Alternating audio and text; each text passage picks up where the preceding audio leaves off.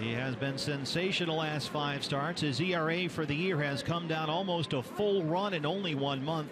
165 innings as we begin tonight. He threw 92 last year. And a good start. He strikes out Danny Santana to open up the ball game. But he's most effective when he's working across the top of the zone and then down at the bottom of the knees like that. A terrific first inning for Josh Collmenter. He strikes out two, no score at Target Field. Lot of them made the trip out to check out downtown Minneapolis. Suzuki gets a hold of one, but all that room in center field makes it an easy play for A.J. Pollock. Six up, six down for Josh Collmenter. No score at Target Field. The 3 2 to Doug Bernier.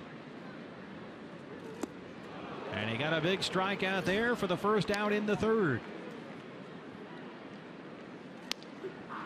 Called strike three. Josh Collmenter rings up Plouffe. You know that 87 World Series winner. And the 91 team as well. That one is out to shortstop just off the fist. And Didi has got it. And so Collmenter strands Vargas at first through four. He trails it 1 0. But the results just have not been there. Santana can hold up, and Collmenter gets the strikeout. That's his fifth. Now two down in the fifth. I mean, if the Twins were in contention in the American League Central right now, there's a chance he might not even have made it here this year. But because they're struggling the way they are, up he's up here now and contributing in a big way.